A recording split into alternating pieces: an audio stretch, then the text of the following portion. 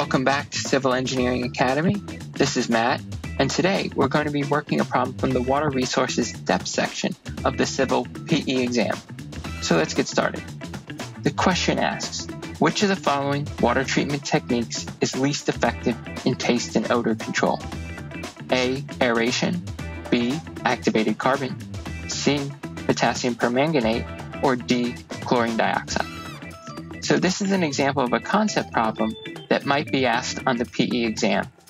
And these concept problems, it's important to identify what is being asked and what resources we use to solve this. So the first thing I like to do is refresh myself with what's being asked and go back and reread the problem statement. So in this case, they're asking for the least effective water treatment technique for controlling taste and odor.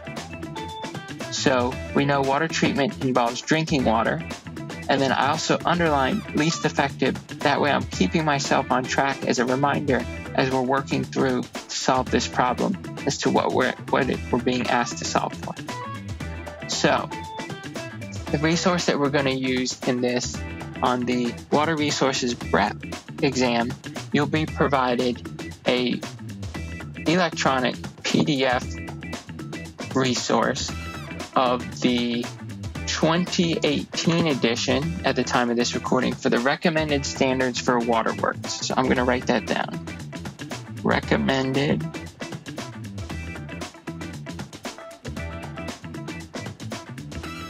standards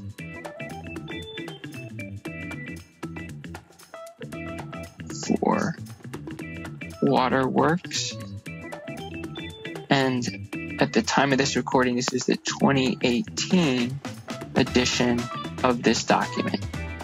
So what I'm going to do is I'm going to look up each of these treatment techniques in this document and see what it says. So I'm just going to work through them one by one. When I look up aeration, I see that that on page 80 of the document, so I'll write that down and I see that that is listed as a treatment technique that is effective in taste and odor control. So I'm going to cross that one out because we're looking for the least effective technique. When I search activated carbon and look that up in the document, I find that on page 94, an activated carbon is a treatment technique for taste and odor control.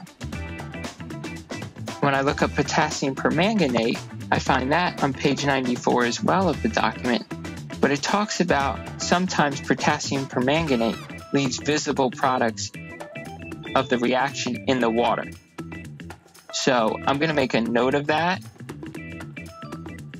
Just note that I found that because that's something that stands out to me.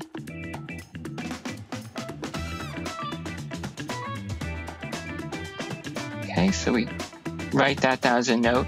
And then I searched chlorine dioxide in the document and looked that up. And I found chlorine dioxide on page 73 of this document.